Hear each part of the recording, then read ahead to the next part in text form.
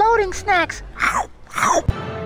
Yeah, yeah, ladies and gentlemen, Gage and Coop, here, loading snacks. Just finished watching The Age of Ultron. as you can see, Clearly, can't you tell that's what that is? Cool. What'd you think? great. It was dope. Were there things that surprised you? Yes. I was very surprised. I can't wait to spoil it for y'all. I don't even know what to do with myself. Um, she didn't make it all the way through. Mushi got a little sleepy. but, but that doesn't mean it wasn't good. Love the movie. It was great. Couple surprises, but you know what? That's that's what it's all about. Absolutely.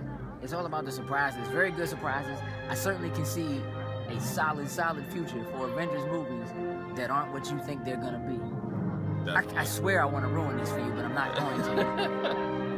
and with that, We're ruining the credits, but you know it's okay. nah, you, we already passed the part where you're supposed to stay for the credit, alright? And so with that,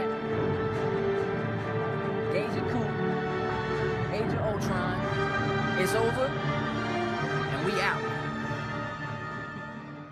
Loading snacks.